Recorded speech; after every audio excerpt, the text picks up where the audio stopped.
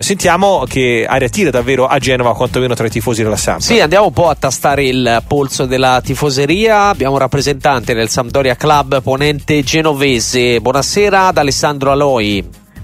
Buonasera a voi, vi ringrazio per avermi chiamato dopo una bella sconfitta. Eh, Cercherò di essere il meno polemico possibile. Immaginiamo che non sia un momento semplice per i tifosi della Sampdoria, però sono tante le cose di, di cui parlare da dove vuoi ripartire Alessandro? Insomma, sul campo mi sembra che ci sia poco da aggiungere rispetto a quello che si è visto. No, soprattutto ti chiedo che ti sei fatto delle due versioni date. Montella che dice in pratica non si deve spiegare più di tanto ai tifosi, a differenza di Osti che invece ha chiesto scusa a nome della società per la sconfitta di ieri. Ma non devono chiedere scusa a niente, devono andarsene e basta. Montella è il nostro bomber, lo ricordiamo ma non è adeguato per, per, Genova. Qui a Genova ci vuole un tipo sanguigno, mm. un tipo che tiene la sveglia ai giocatori.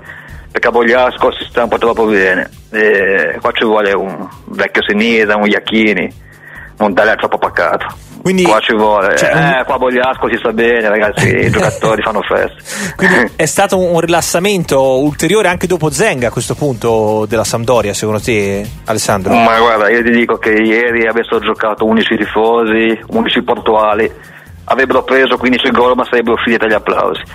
Ieri giocavano 11 ragazzi che pensavano, secondo me, alle vacanze a Formentera non c'è quell'attaccamento alla maglia che noi vogliamo, siamo molto delusi, siamo dilaniati dal nervoso, guarda, perché il derby non devi giocare con sangue agli occhi, ieri abbiamo visto veramente l'avete visto tutti.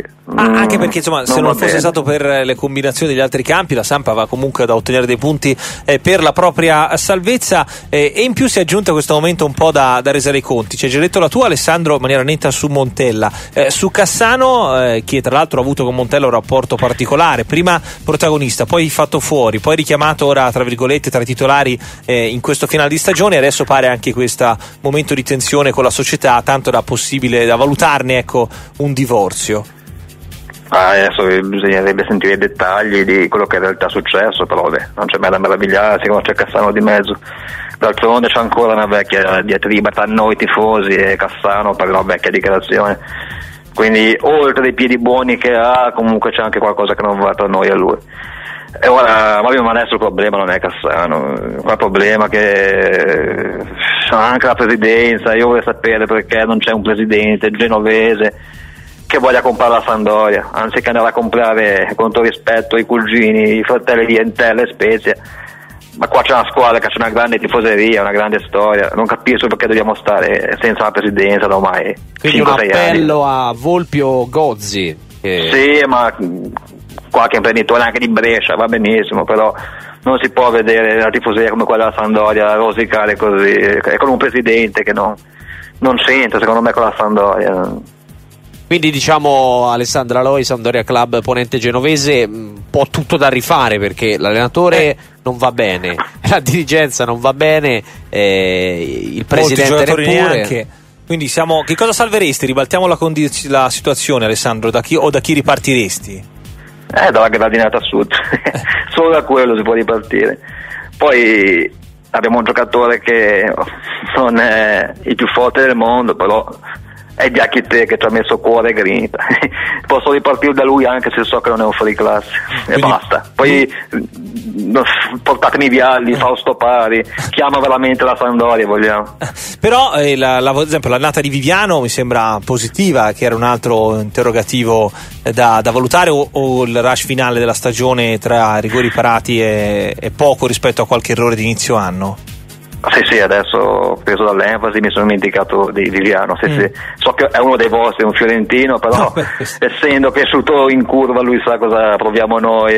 lo voglio capitano, lo voglio capitano Viviano assolutamente. Ok, quindi ci teniamo questa sua segnalazione, eh, Alessandro. Ieri ha anche sgridato Suso per l'esultanza sotto eh, la È quello che ci piace a noi. Eh. Suso non deve neanche più giocare a pallone, secondo noi.